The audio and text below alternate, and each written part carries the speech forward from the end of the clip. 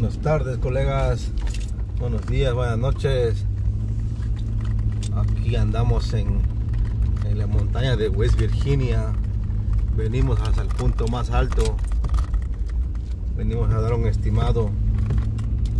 Andamos trabajando en las montañas de West Virginia.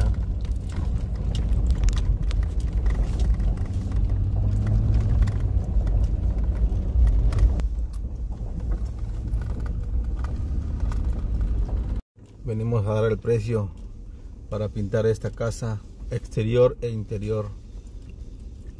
Those two or Who, who the posts are natural. oh the posts are staying natural. Okay. Yeah. So we don't have to do the post. We're doing the siding, the trim, Yep.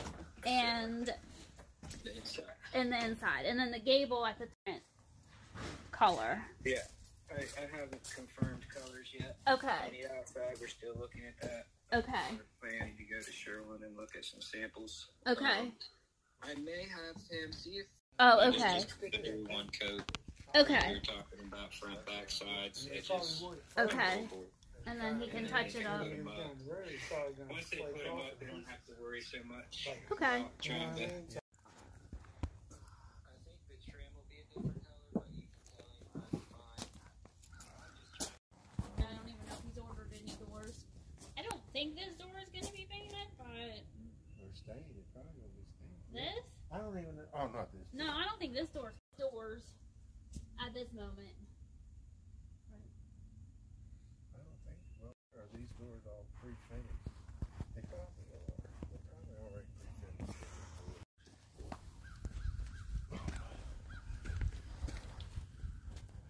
And the house is 30 by 32.